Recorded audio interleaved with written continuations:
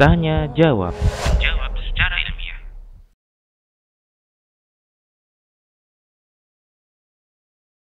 Apakah jin berada di surga?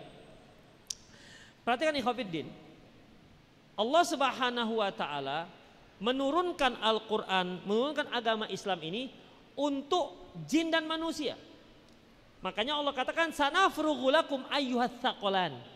Kami akan punya perhitungan kepada kalian wahai tsaqalan.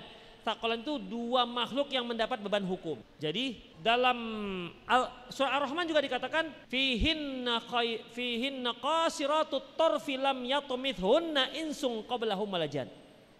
Di dalamnya ada para bidadari bidadari bidadari yang sebelumnya belum pernah dijamah jin dan manusia. Berarti di situ posisi jin dan manusia sama.